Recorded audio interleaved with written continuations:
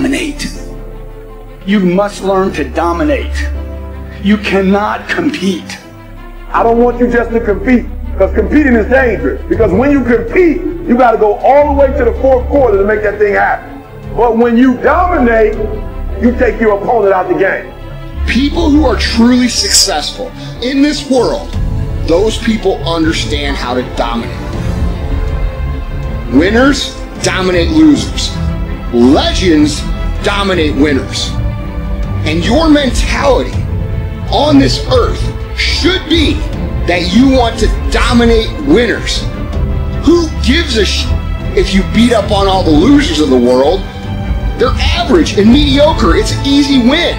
That's what makes them losers. There is no honor in that. There is no real achievement in that. If that's the case, congratulations. You might get a nice car. You might get a nice house. You might have a nice life.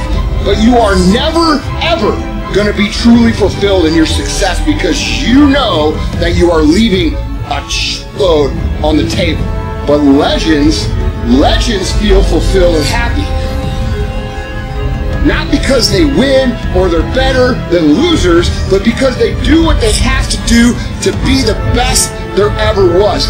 They might enjoy a nice life, but they are only truly lit up by the true mission of all dominators. And that mission is to be the best there ever was at whatever it is that you do.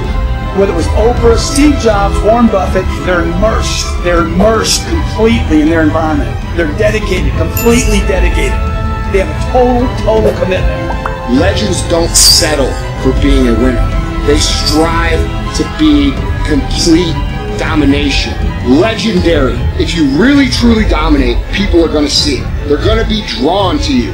They will remember your name because by dominating your life, you will make a profound impact on all of the lives around you. Just winning is not enough, but dominating people who are winning, that's something that'll leave you a legacy.